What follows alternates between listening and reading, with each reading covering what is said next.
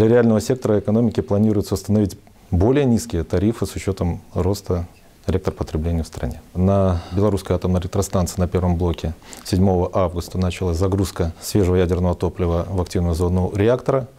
Э, Сегодня эта работа должна быть завершена. Все 163 тепловыделяющие сборки должны быть загружены. Дальше это уже сборка реактора, его уплотнение и выход на минимальную мощность работы реактора.